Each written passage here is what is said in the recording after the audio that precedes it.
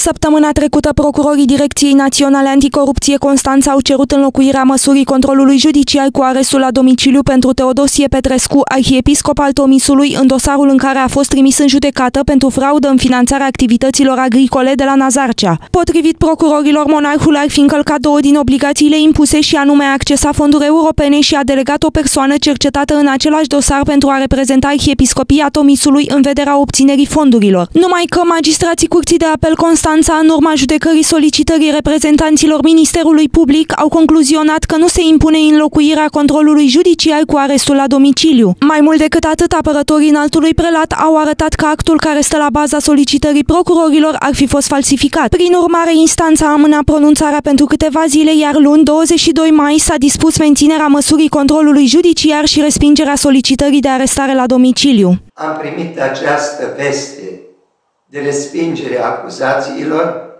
de către justiția din Constanța, respectiv de judecători, care a judecat obiectiv, ne lăsându-se influențat de documentele depuse, de aceea mi-a dat speranță că întregul dosar va avea parte de o justiție obiectivă. Decizia nu este definitivă. Procurorii au la dispoziție 48 de ore să atace hotărârea la instanța superioară în alta curte de casație și justiție.